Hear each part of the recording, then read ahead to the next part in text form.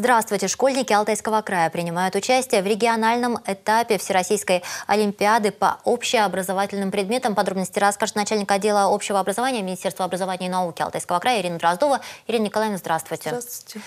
Ну, вот такие серьезные испытания. И сразу после каникул готовились ли школьники в праздничные дни?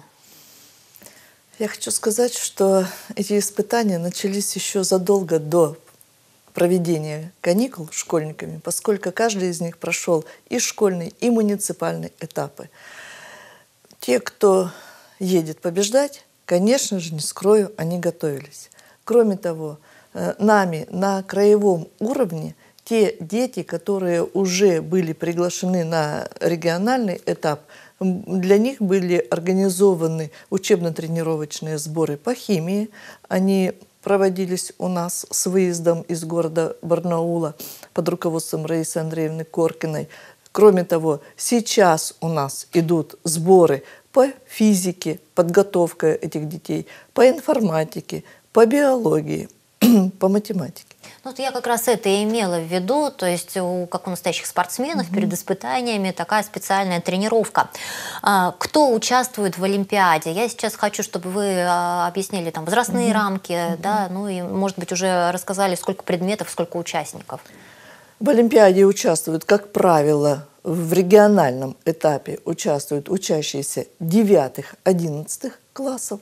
Но если школьник, допустим, восьмиклассник, готов участвовать за курс 9 класса, это не возбраняется. И в течение ряда лет у нас есть такие дети. Он может быть учиться классом пониже, но участвовать в Олимпиаде за курс, допустим, 9-10 класса. Это по каким предметам у нас такие э, ребята? Есть, Какие предметы можно освоить по на год? Химии, по химии у нас э, такие школьники, как правило, всегда есть. И их э, готовит, как правило, Раиса Андреевна Коркина таких детей, потому что она с ними начинает заниматься с начальной школы. Поэтому они уже к этому возрасту подходят подготовленными именно к этому уровню.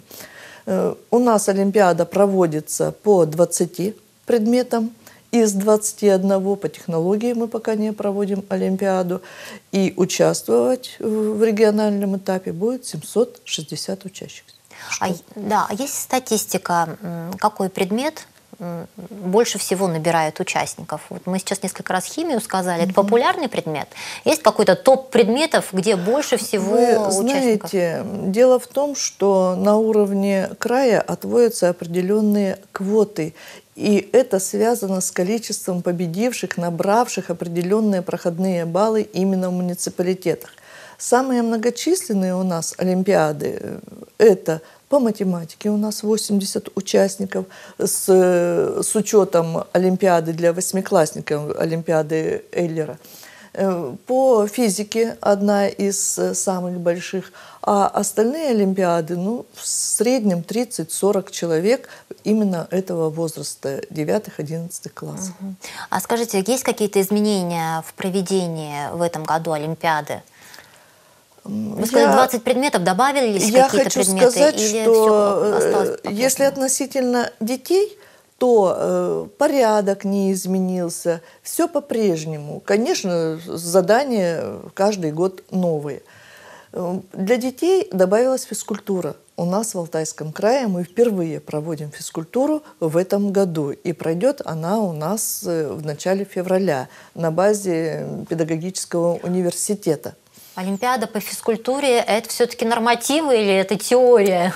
Это и теория, это и нормативы, и даже оказание первой медицинской помощи. Все входит. Все, что изучает предмет э, физическая культура, все входит в конкурсные задания. Что касается нас, организаторов, то у нас существенно изменились именно организационные условия. Мы э, впервые Олимпиаду проводим ну, в полном соответствии с проведением единого государственного экзамена.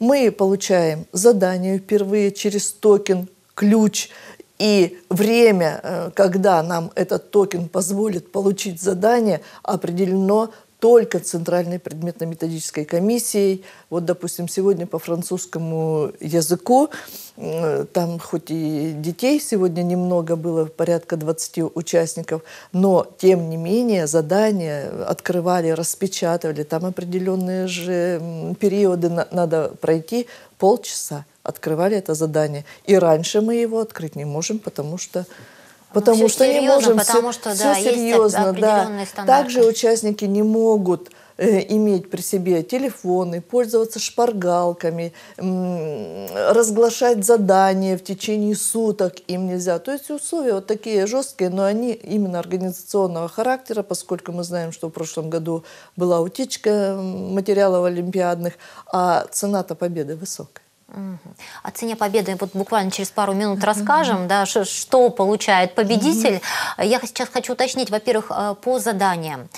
Понятно, что э, сутки нельзя разглашать да, сейчас, но потом-то, потом прорешивают, предлагают эти материалы как-то для ознакомления э, другим учащимся. Потом этим педагогам. Да, потом эти материалы мы, как правило, рекомендуем всем нашим методическим объединениям края края рассматривать, вот. решать с детьми. И в ходе нашей ежегодной конференции э, учебно-методических наших комиссий, у нас отдельный вопрос стоит результаты Олимпиады и разбор этих олимпиадных заданий. Это в обязательном порядке, чтобы ну, в последующем алгоритм как бы рассмотрения и учить-то надо, это же совершенно Конечно, как бы другое направление, практика. другая практика. И подготовить ребенка к стопроцентной сдаче ЕГЭ и к победе на Олимпиаде – это абсолютно разные направления деятельности. И как сказать, градусник измерения талантливого ребенка совершенно раз.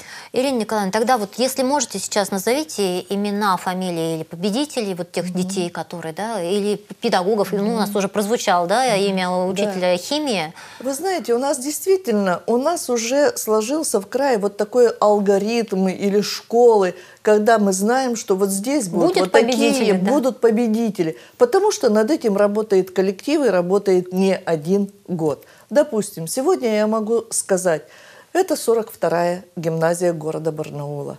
Это 124-й лицей города Барнаула. Это Бийский лицей-интернат. Это вот это 69-я, допустим, гимназия. Э, это сельские э, школы, Санниковская школа Змеиногорского района, которая готовит детей. Такие яркие номера, имена детей, которые в прошлом году приняли Эм, ни в одной Олимпиаде участие и оказались либо призерами или победителями. Допустим, из Рубцовска-Толстобров эм, Алексей, которого даже пригласили в сборную команду по физике э, России. Это Лямкин Михаил, это Величко Андрей, это Дорогов Александр. То есть вот те дети, которые не в одной Олимпиаде оказались э, не по одному предмету. Ну, а если говорить об именах э, учителей, то они нам тоже известны. Я уже называла Раису Андреевну Коркину, да, э, та, которая великолепно готовит э, химиков.